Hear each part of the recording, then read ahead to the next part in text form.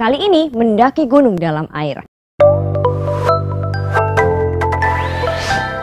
Kalau ngomong jalur hiking, pasti yang terlintas di kepala adalah jalur menanjak melintasi perbukitan atau gunung. Sebagai hadiahnya pemandangan spektakuler saat mencapai puncak. Tapi tidak dengan jalur hiking Gruner Sea di Austria ini. Kalau kamu terlena berlama-lama di sana, bisa jadi kamu harus menyelam untuk bisa pulang. Alasannya karena Gruner Sea dalam kurun waktu tertentu tiap tahunnya bisa berubah menjadi danau besar. Dilansir dari Huffington Post, Gruner Sea berarti danau hijau dalam bahasa Indonesia. Danau ini berlokasi berlokasi di pegunungan Hochschwab, dekat kota Tragus di Austria. Saat musim panas, seluruh fasilitas yang menghiasi taman luas nan hijau itu seperti kursi taman, jembatan, serta ayunan yang akan terendam air. Oleh karena itu guys, wajar kalau pas musim panas, jalur hiking Gruner Sea berubah menjadi lokasi diving. Hal itu terjadi ketika kolam kecil di Gruner Sea menampung lelehan es musim dingin dan air hujan dari sungai di sekitar pegunungan dan dari taman yang hijau, Gruner Sea berubah jadi danau cantik berwarna hijau. Saat musim panas nih, permukaan air di danau meningkat hingga beberapa meter